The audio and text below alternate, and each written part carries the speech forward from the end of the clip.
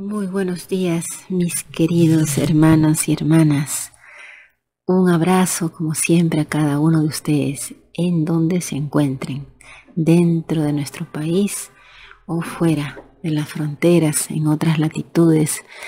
Va también mi cariño a cada uno de ustedes, hermanos y hermanas que tienen aquí el corazón puesto, todos juntos, unidos más que nunca, organizados para defender para recuperar nuestra patria, nuestros recursos estratégicos, que eso es vital, hermanos y hermanas, no importan las formas, ir con el Consejo de Ministros a cada región, hablar, reunirse con las autoridades, decir que se hizo tal obra, cual obra, si un colegio, si por ahí al avance un hospital, todo eso es positivo, hermanos y hermanas, pero si no se hace un cambio profundo en el sentido de que nuestras riquezas sigan siendo dilapidadas, entregadas en bandeja, o sea, que el hecho de ejercer la traición a la patria, el ser el patria, el ser entreguista,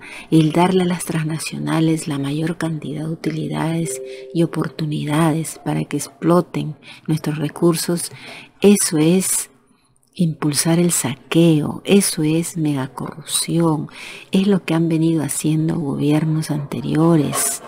Ya sabemos los contratos, ley, que han hecho estos gobiernos corruptos pasados con nombre propio, contratos lesivos para el país en condiciones corruptas que no benefician a la nación, sino a las transnacionales, servidas en bandeja. Y eso continúa a través del Fujimorismo, Fujimontesinismo, lobista, ese Fujimontesinismo lobista que ejerce en el Congreso. Eso es clarísimo, hermano. Esa es la gran corrupción. Ese es el tema de fondo que hay que enfrentar que nuestros recursos naturales como el petróleo, ahorita el petróleo es lo más demandado a nivel mundial. Y no es posible que ahora en un gobierno donde hay un presidente popular legítimo, pero que lamentablemente está rodeado de enemigos y de asesores como Aníbal Torres, que es el presidente además del PCM, y toma decisiones, eso es definitivo, hermanos y hermanas, y lo hace no necesariamente para el bien del país, lamentablemente. El hecho de haber frenado que se haga renegociaciones de contratos con Plus Petrol en el caso que Bellido le iba a hacer y de haberlo encarpetado junto a Mirta Vázquez, eso quiere decir que él no quiere tocar el cimiento, no quiere cambios estructurales, no se quiere enfrentar a las transnacionales. Otra evidencia es en las bambas. ¿Qué cosa hizo? Maltrató a nuestros comuneros, insinuando que eran secuestradores. Fueron heridos, perdieron sus ojos, pasaron pánico, fueron masacrados a golpes por esos, por esa seguridad, esos matones que hasta venezolanos encontraron y que dijo el ministro que era solo un rasguño que una de las comuneras se había caído, que ya la estaban atendiendo. ¿Así se trata nuestro pueblo? ¿Qué cosa evidencia ahí Aníbal Torres, más allá de las peroratas que lanza contra los medios y el Congreso? Sí, contra el Congreso, pero los mantiene. Nunca aplicó la cuestión de confianza y los ha dejado avanzar. Bueno, pues ya más no pueden avanzar, el golpismo no puede más avanzar. Lo tienen acorralado al presidente, todo esto ha perjudicado a la nación, no han podido gobernar, no se ha podido hacer cambios estructurales, no se ha cumplido el programa de gobierno. ¿Y quién es un hay un responsable ahí? No es el presidente, en el sentido de que él lamentablemente se le nota leguas, es ingenuo, se deja llevar, es influenciable, tiene ignorancia política y hasta de la historia, de la historia revolucionaria de nuestros pueblos. Él reconoce a Velasco Alvarado. Dice, ah, sí, nos devolvió la dignidad, Velasco Alvarado, la reforma agraria. Sin embargo, dice No, proclama o él instituye ese día de la muerte de Morales Bermúdez como día de duelo nacional. Un traidor que estuvo coludido con la CIA para asesinar a nuestro gran patriota Velasco Alvarado. Sabemos lo que fue Bermúdez, el regreso más bien a la opresión, el que la, reforma, la forma agraria quedara solamente hasta donde avanzó. Hubo una dignificación, sí, pero todo quedó ahí y volvieron los saqueadores de siempre, los monopolios, los Romero Quesada, todos esos que atacaban a constantemente a Velasco Alvarado, nuestro Velasco Alvarado. Todos aplaudían a Morales Bermúdez, que el presidente no conoce eso, pero es que él simplemente hace lo que le dicen que es lo mejor y nunca es capaz de cuestionar a Torres. Y Torres sí estoy segura que es un admirador de Morales Bermúdez. Estoy segura, así como fue uno de los miembros de la comisión interventora en San Marcos en esas épocas del fujimontesinismo. Él lo fue, yo he visto el decreto y tengo el video y voy a hacer otro programa. Con esos antecedentes, hermanos y hermanas, vemos que el entreguismo sigue y este entreguismo del lote 192 se quiere olear y sacramentar a través de un decreto supremo. Esto no se puede permitir y los únicos que alzan la voz contra esto son Perú Libre. A mí me califica, hace poco he leído que escribe, ella es fanática de Cerrón, dicen, pero no se trata de eso, eso es propiamente de gente que posee una, una ignorancia supina que reaccionan casi como animales, no piensan, no racionalizan, no disciernen, no separan la, la paja del trigo, porque no han desarrollado su capacidad de análisis. Acá se trata de defender nuestros recursos naturales. Ese es el motivo de las guerras, de las explotaciones, de los saqueos. Los recursos naturales en los que está basada nuestra economía. El sistema neoliberal está en base del saqueo. El sistema neoliberal es el marco legal del saqueo constitucionalizado e institucionalizado. Y contra eso debemos ir y no permitir que este lote 192 sea entregado en la mayor gran parte de utilidades, el 61%, a alta mesa un contrato que hizo el traidor a la patria de Sagasti. Ese caviar y ahora los caviares que están rodeando a nuestro presidente, incluyendo a Torres, lo quieren olear y sacramentar. Y eso no puede ser. Él habla el doble discurso, habla de sí contra los oligopolios, monopolios y después. Por eso es que Perú Libre está tratando de llamar la atención al presidente rechazando ese decreto supremo y denunciando. Es lo único que pueden hacer porque ya no son partido del gobierno, porque los alejaron totalmente. Justo para qué? Para devorarlo al presidente ahí solito, sin que nadie les diga cómo se comportan los operadores, cómo, cuál es el modus operandi de los operadores, no solamente de la mafia que hay acá en el Perú, sino de la mafia internacional, que tiene muchas empresas transnacionales aquí, estadounidenses, por ejemplo, hay muchos, acá ellos tienen muchos intereses. La Newman, por ejemplo, que se saquea nuestro oro en Yanacocha, ha comprado acciones a Roque Benavides, ahora tienen todas las acciones. La Newman, la empresa minera más importante de Estados Unidos, es la que se lleva nuestro oro en condiciones realmente de corrupción, porque ese contrato fue hecho en la salita del CIN y eso está probado Montesinos. Eso hizo la Newman, jugó sucio, apoyado en el agente de la CIA también Montesinos. Se dan cuenta, esa es la situación y quien habla de ese tema, quien se enfrenta a eso, hay que tener valor, porque ahí están los verdaderos dueños del Perú, los que han usurpado al pueblo. Hay que abrir los ojos y Torres secunda todo esto. Eso es en el fondo la verdad. Lo hizo cuando estuvo en la comisión interventora en San Marcos Lo hizo cuando evitó que Plus Petrol sea sentado en la mesa para renegociar. Lo, lo hizo cuando evitó que se use la cuestión de confianza y acorralen al presidente como hasta ahora está hoy. De él dependió. ¿Ah? Entonces, ¿de qué hablamos? Hay hechos ahí, responsabilidades muy graves. Y yo no tengo miedo de decir lo que pienso y lo que veo, hermanos y hermanas.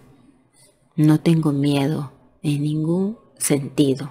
Digo lo que es honestamente para mí, según los hechos objetivos. ¿no? Pero Libre ha advertido, antes de desarrollar este programa tan importante, solo les digo este hecho.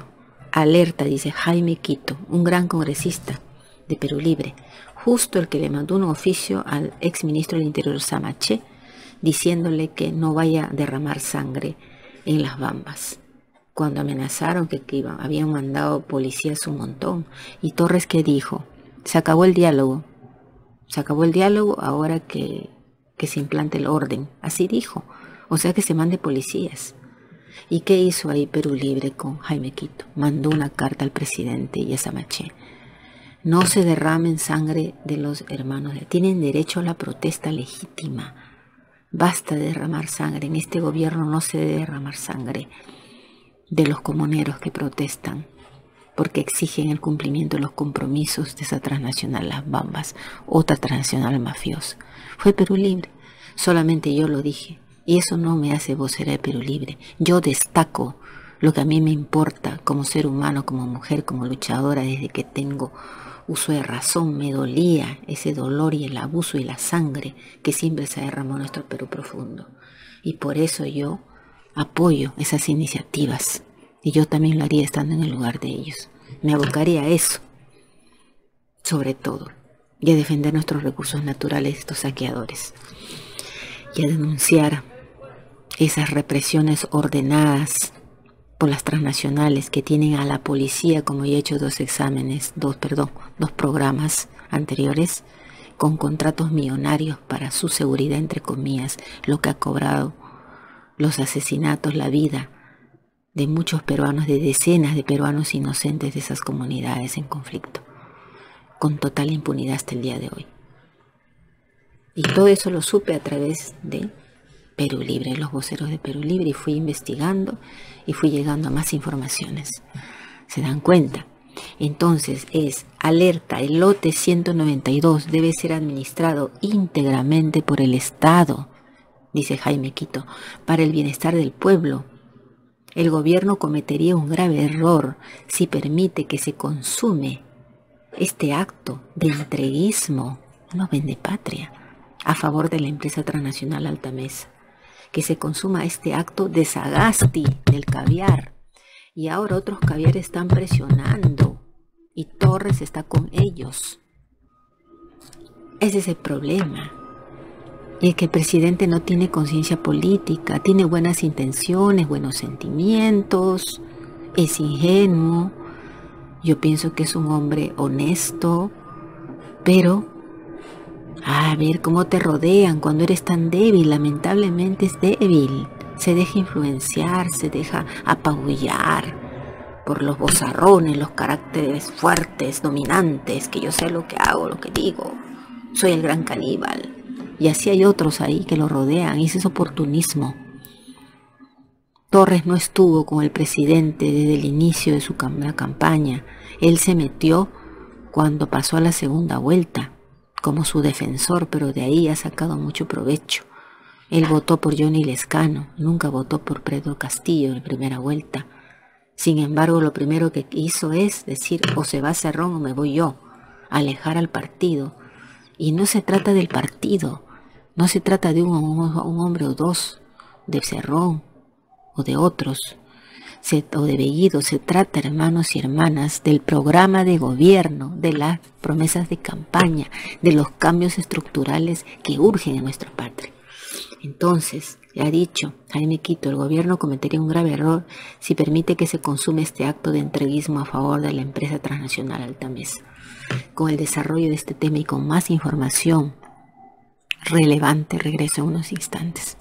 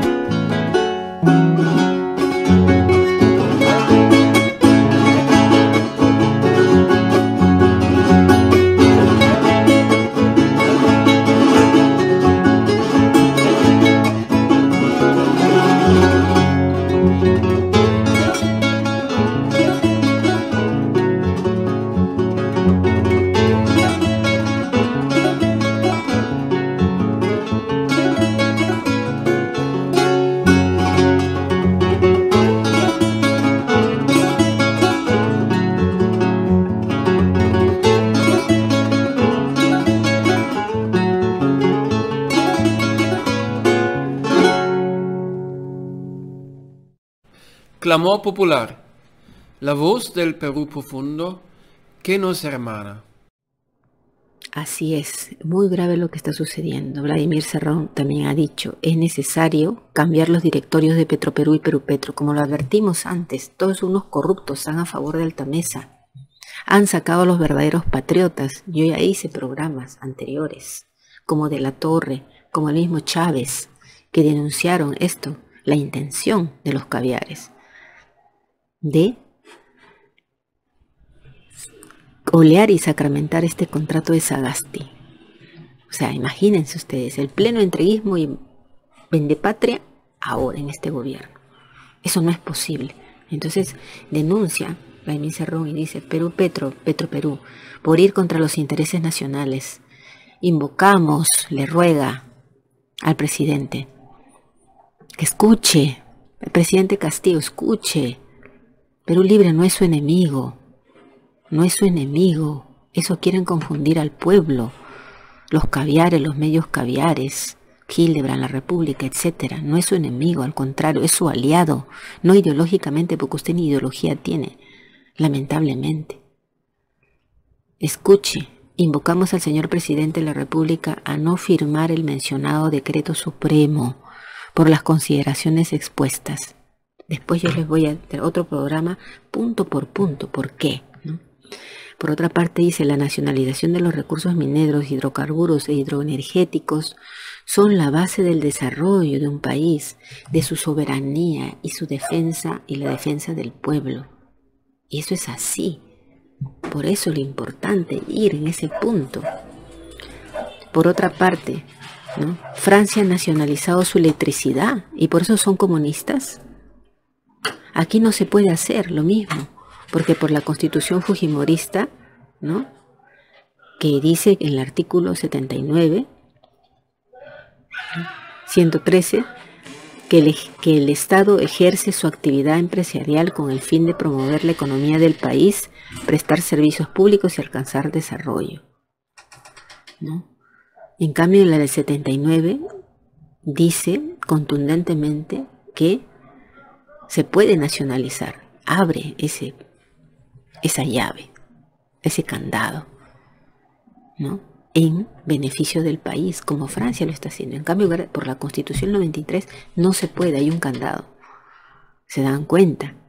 Fujimori y Montesinos lo que quisieron es salvaguardar los intereses del Fondo Monetario Internacional, del Banco Mundial, del consenso de Washington, que son la base del modelo económico actual que tenemos, en contra del pueblo y a favor de las IFIs, de estos organismos internacionales. Y Sagasti trabajó y trabaja para ellos hasta el día de hoy, Banco Mundial.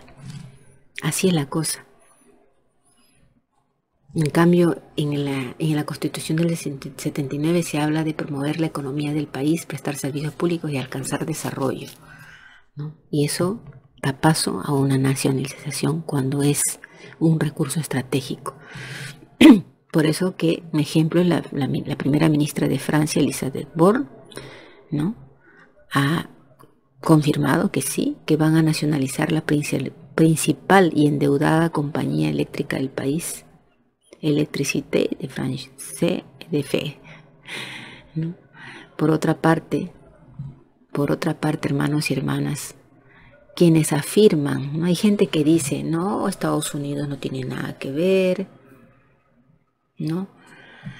Y además no tiene empresas estatales. No, no, no, no hay empresas estatales. El estatismo es lo peor, Aquí en el Perú tienen empresas, ahí están empresas estatales, están metidos empresas estatales yanquis. O sea, estadounidenses. Aquí mismo, y son estatales. Está, por ejemplo, un Apple, Bank of America, Alphabet, Microsoft, Wells Fargo, Walmart Citigroup, Citigroup, el productor de petróleo y gas ExxonMobil, etc. Son sus empresas estatales, además de las privadas como la Nuevo y mucho más. ¿no? Pero claro, esa información no llega, ¿no? Ellos sí tienen derecho a, nacionalizar, a tener sus empresas estatales. Nosotros no. Y cuando Petroperú quiere ahí surgir, lo aplastan, ¿no? con estos vendepatrias. También por otra parte, la misa va a compartir algo que dice Juan Pari, un economista. Dice, reserva aprobada en el lote petrolero 192. Son reservas probadas, no es que vamos a explorar si hay petróleo, no, petróleo 100%. Entonces ya no hay especulación ni riesgo, dice Juan Pari. Es un activo líquido de 10 mil millones de dólares. Un activo líquido de 10 mil millones de dólares para nosotros los peruanos, para la educación, para la salud para robustecer los presupuestos. En eso tienen que ver, hermanos, quién lucha por esa justicia, por recuperar nuestros recursos y que esos recursos vayan al pueblo. Eso es el problema de fondo. Yo estoy con quienes denuncian y con quienes luchan porque esto sea así. Lo demás solamente son cosas que digamos obedecen simplemente a anexos. Lo central, el cimiento es esto. Es un activo líquido de 10 mil millones de dólares que el país debe disponer sin entregar ese lote a un denominado socio estratégico. ¿Para qué un socio estratégico? ¿Para que se lleve la mayor cantidad de utilidades? Utilidades que le están sirviendo en bandeja le sirvió el gobierno de Sagasti el caviar y que ahora los caviares que rodean a Pedro Castillo el presidente lo quieren hacer firmar para entregarle en bandeja esto a Altamesa. ¿Quién denuncia eso? Quiero escucharlo a Bermejo, que hace tiempo a Bermejo solo lo escucho hablar de constitución, nueva constitución, y haciendo campaña aquí y allá con el presupuesto que ahora tiene congresista, ¿no? Pero ¿y? Porque él quiere ser presidente. Pero, a ver, ¿quién se mete aquí con los grandazos, con las transnacionales? Con esos contratos caviares, entreguistas. Esa es una mega corrupción. Eso sí, son millones y millones, hermanos y hermanas. No hablamos de que me entregar, le entregaron por lo bajo 100 mil soles, un soborno de 30 mil. no, esto es mucho más. Por eso dice Juan Pari, esta reserva aprobada, este activo líquido de 10 mil millones de dólares, el país debe disponer sin entregar ese lote a un denominado socio estratégico que la ley no obliga, o sea, la ley no obliga a entregar a un socio estratégico. Basta, Pedro Perú puede administrar y traer más bien una empresa para poder sacar la riqueza, ¿no? Nada más que tienen sus maquinares, eso, ¿no? Se les paga una cantidad y este es un servicio, pero no un socio estratégico cuando ya es son reservas de petróleo probadas. Y además la ley no lo obliga. Por eso él dice, acá hay un olor medio raro en esas decisiones, esto apesta. Eso apesta, claro que sí. ¿No? La Cerrón dice, no, el gas, el petróleo y los minerales deben ser de los peruanos en el subsuelo, el suelo y los aires, claro, no de los aires. También los aires y el mar, hermanos, que está tan sobreprotegido. Acá hacen nuestro mar lo que les da la gana. Pesca de arrastre, entran como les da la gana. Y en el aire ni se diga. Ya no tenemos ni una compañía nacional. Por eso él dice abajo la constitución política del 93. Porque nos han arrebatado todas estas riquezas. Es la constitución del 93 que debe ser abolida. Por otra parte, hablando esto de Altamesa, Alex, que también es de Perú Libre, dice, Altamesa es dirigido por Alberto Varillas. Miren, otro dato importante y es, lo he corroborado. Altamesa, esta transnacional canadiense que hizo el trato con, con Sagasti, que ahora están presionando al presidente para que firme un decreto supremo, todos estos, todos estos corruptos caviares, y saben que ahí está pues el que, el que toma las decisiones Torres, ¿sí? ¿No? Él dice, Altamesa es dirigido por Alberto Varías. Imagínense, Alberto Varías, ex Petrotec. Es una empresa ligada a los petroaudios, ¿se acuerdan ustedes? Ese tipo es esposo de Rosa María Palacios, imagínense ustedes ese Alberto Marías que está, está a la cabeza de Petrotec, ese corruptazo que está ansioso porque se firme ese contrato de Sagasti, es esposo de Rosa María Palacios, socio de Estudio García Sayán, ya sabemos, ese es otro corrupto. No les digo, dice él, que los caviares están en todo.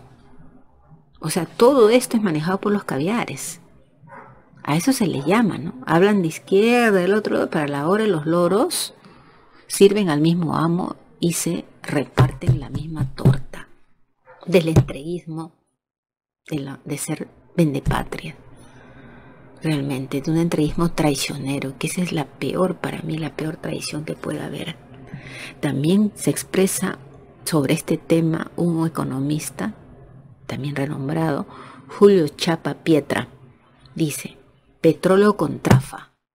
Se adjudica contrato a empresa Altamesa que aportará solo 250 millones de dólares. Altamesa, dirigido por el esposo de Rosa María Palacios. ¿Ah? Y Petroperú entrega el lote, le entrega el lote de 10 mil millones de reservas probadas. ¿Qué es esto? ¿Qué tal negociado? Por eso él dice, huele a negociado. Eso no huele a petróleo, acá hay un negociado, lo denuncia. ¿Eso ustedes escuchan que a estos economistas los entrevisten en la televisión? A ver, ¿quién otro está hablando de este tema? Nos quedan las redes sociales. Espero que los hermanos, los otros youtubers, por favor, hablen de esto. Están presionando al presidente para firmar un decreto supremo. Y el único partido que está denunciando y que está llamando la atención y haciendo el papel que siempre ha hecho, y por eso es que lo valoro, es Perú Libre. A ver, he investigado, a ver, ¿quiénes más están hablando de esto? Los caviares que están en el Congreso, no lo escucho a los otros partidos de izquierda. No escucho que hablen de esto. No veo en sus twitters, en su Facebook, en las redes, no veo. Todo esto, toda esta información encontrado en los diferentes muros de Perú Libre. Nada más. Y en los economistas que ellos citan. Porque son pocas las voces. O sea que los golpistas caviares además podrían estar presionando para que se firme a caballazo esto el presidente. Firma, firma de una vez, porque si no vas a tener peor, en contra todo. Como lo tienen acorralado nuestro presidente, ¿verdad? Miren a su familia absurdamente, hasta su cuñada hija, ¿no? Qué absurdo realmente, que ha sabido defenderse, sí, pero para que vean cómo es este poder que se ensaña, ¿no? Este poder mafioso, ¿no? Y Sagasti, un empleado del Banco Mundial, ¿no? Y ahora está con su monserga de que se vayan todos, que se vayan todos, claro, para que entre un próximo gobierno acorde al fujimontesinismo, totalmente al, a, a los caviares, que los caviares puedan hacer todo lo que quieren hacer sin que haya un estorbo como Pedro Castillo, ¿no? Que tienen que estarle de todas maneras, me imagino que lo tratan de convencer, lo presionan, ¿no? Entonces, este, todo eso puede tratarse también de un chantaje, ¿no? Firma este contrato y vamos a arreglar aquí las cosas, ¿no? Para que no te saquen, ¿no? Porque Vladimir Cerrón también respecto a eso la vacancia ha dicho que no hubo fraude, por supuesto que no hubo fraude electoral, ni Villaverde tiene pruebas, ese Villaverde es un delincuente que lo endiosan, lo sacan de la cárcel, lo compensan por haber embarrado, enlodado, sin pruebas, como tirado barro con ventilador. ¿Cuál es su premio? Libre. Se va por todos los medios. ¿Qué realmente? ¿Qué teatro más, más asqueroso? Repugnante realmente, ¿no? Pero mí Cerrón dice, ni Villaverde tiene pruebas, a nadie tiene pruebas. Todo está claro aquí. Aquí lo que hay es una orquestada golpista que en cuestión de días se hará humo, dice él, ¿no? o sea que al final no van a poder tumbar al presidente. Pero, claro, tiene mucha esperanza de eso, pero también el presidente tiene que restituir la constitución del 79 para librarse de toda esa caviarada y esos fujimontesinistas. Y gracias a esa constitución del 79, romper este contrato de Sagasti sobre el lote 79. Regreso en mi próximo programa con el pronunciamiento de Perú Libre sobre este decreto supremo que quieren, están presionando al presidente para que entregue Alta Mesa, cuyo jefe es el esposo de Rosa María Palacios. nuestro petróleo, hermanos y hermanas. ¿no? Comunicado que ha emitido Perú Libre tiene nueve puntos del por qué el gobierno no puede hacer eso. Es traición a la patria, han dicho. No al decreto supremo que regala nuestro petróleo. No han dicho. De ninguna manera. Ese pronunciamiento regreso en mi próximo programa. Causachum Perú, te quiero, por eso te defiendo, amado pueblo mío. Gracias de corazón a todos y cada uno de ustedes. Causacho nueva constituyente, hermanos y hermanas, Causacho en restitución de la constitución del 79 y ya, hermano presidente, basta de entreguismo, basta de vendepatrias, basta de asesores convenidos oportunistas. Queridos hermanos y hermanas, hasta mi próximo programa y muchas gracias por su atención. Pueblo querido, no pierdas la fe fe en el cambio que está por llegar. Pueblo, recuerda tus luchas de ayer. Cuando mataste a la serpiente y a la naranja del mal.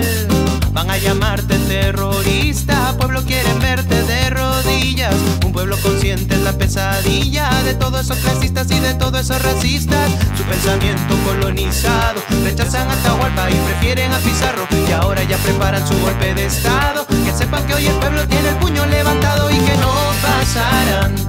Vamos pueblo, carajo, que el pueblo no se rinde ni un paso atrás. Si el racismo no descansa, que hay un pueblo que resiste, no pasarán. Vamos pueblo, carajo, que el pueblo no se rinde ni un paso atrás. Si el racismo no descansa, que hay un pueblo que resiste.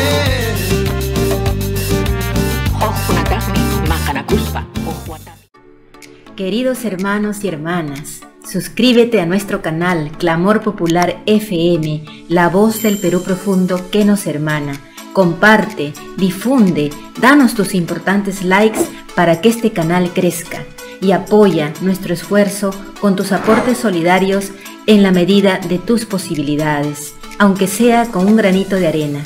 En la descripción de los programas encontrarás los datos necesarios. Mi gratitud enorme a los que nos han apoyado. Un abrazo afectuoso a cada uno de ustedes, a todos y todas.